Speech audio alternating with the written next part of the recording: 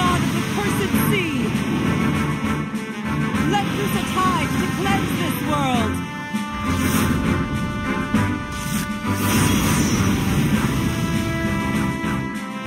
If you wanted to cleanse the world, a lot of water would do the trick. But Palamecia will drown. That's why we have you. You mean we're all doomed if we can't beat Leviathan? I get enough trouble from the prophecy already. The prophecy's story is ending. Only the world beyond the prophecy will remain. All of us have become too accustomed to living in the Warrior of Light's story.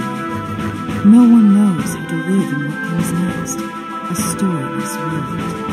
I think it'll be great. No more pointless, endless battles.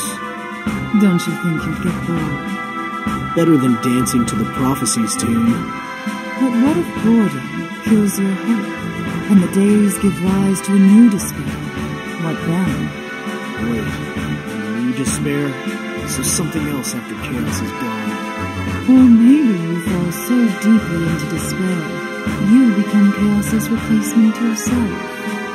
Hmm, interesting idea. I could get into that.